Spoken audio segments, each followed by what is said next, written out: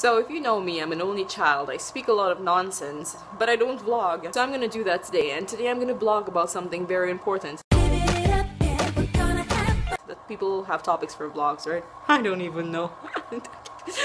Lol. I'm gonna talk about, you know, Wait, I'm not even supposed to talk about anything really. I'm not even supposed to edit this. I, I swear, I tried not to edit this video. It's really difficult for me. I'm just supposed to talk to the camera.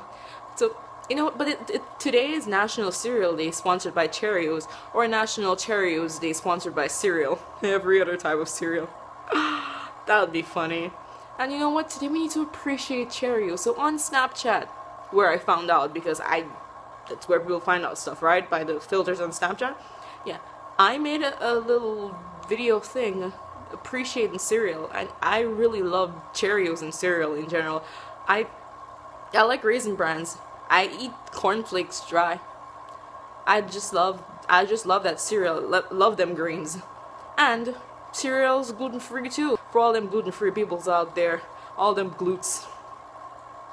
You can eat cereal now. Eh, yeah. So that next clip is going to be the Snapchat then the next clip is going to be me speaking nonsense about cereal and how water has gluten in it. You're an idiot. Do you enjoy this? When you drop it down, back, back, back, back it up.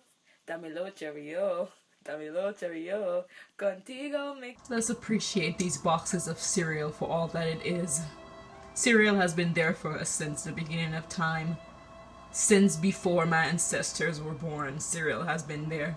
Jesus, Jesus Christ snacked on cereal, I, I swear he did. And it's gluten free. It's even getting better. Can't eat bread.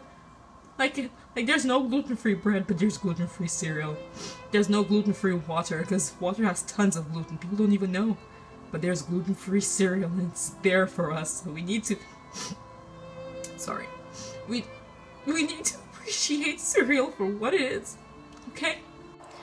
I can probably hear your brain saying, Nyanna, why do you have all of that cereal?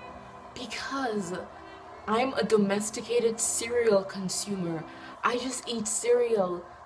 I'm a cerealinarian. I only it's eat I only eat cereal, honestly. For a snack, I eat cereal. For breakfast, I eat cereal. For lunch, I put cereal in milk with a side of vegetables, you know, just to make it classy and stuff nothing more classy than that broccoli and spinach inside of the cereal with the milk. the milk is the protein, right? And the broccoli and the spinach is because my mother wants me to eat my veggies for some reason. Not like they're healthy or anything. KFC is healthier. I actually don't like KFC. I really like oily stuff. And for the crunch of it, you know, because you need to crunch on something, you can't just swallow your food whole. You need the cereal. You need them carbohydrates. You need them, you know, cereal grain for digestive system. If you want to poop Ew. effectively, you need to have grains. That's eat eat raisin bran. It makes you makes you go. It's like it like if you need to go somewhere, if you want to be somebody, if you want to go somewhere, you better wake up and eat cereal because it makes you go. Anyway, I don't want to make a long video. So, I'm gonna end it right there and hopefully it's short. I hope, I really hope, or else I'm gonna edit the crap out of that thing and make it very short. Okay, bye. Thanks for watching. Oh, make sure to subscribe and like. It makes me feel liked.